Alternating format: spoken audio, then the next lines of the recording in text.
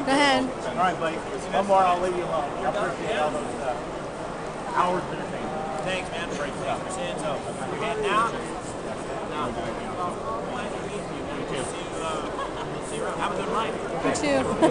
Thanks.